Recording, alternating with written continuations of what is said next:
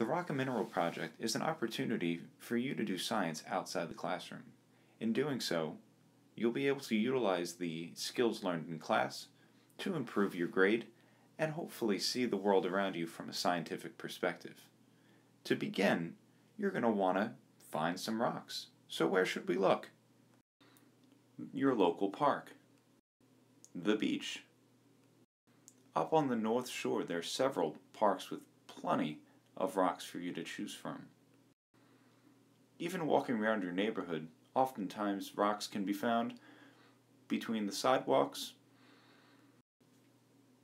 Maybe there's a pond or lake near your home where you can walk along the shore and find plenty of rock samples.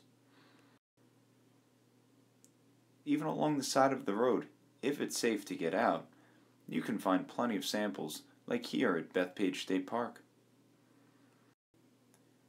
But of course, whenever you find your sample, make sure you take a picture with it.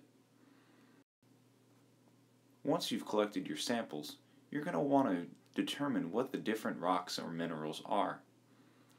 Use the various skills learned in class to try and reason what one rock is from another. If you get stuck, bring your ideas to a teacher and they'll help you to complete your task. Finally, you're going to want to label each sample and organize it into a collection that can be turned in and graded. Remember, a PDF must be turned in with each description for each labeled sample, including those fabulous photos.